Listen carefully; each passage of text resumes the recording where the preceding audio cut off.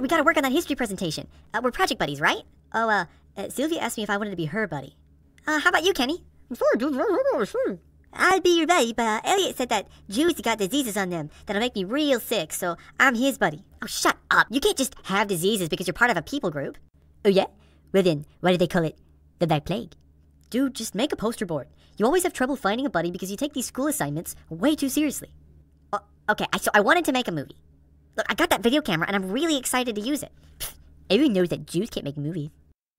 Dude, what the hell are you talking about? Most movies are made by Jews. I think those are Jew lies, Todd. You can't name a single Jew who ever made a movie, can you? How about Steven Spielberg? Or Stanley Kubrick? Oh, well, isn't there that, that one guy? Uh, Harvey Wine? What Sibelius, you're not, you're, you're not helping. Hmm, movie. The Sibelius! Uh, hey, Elliot, what's going on? The Jews, the Sibelius. They lie.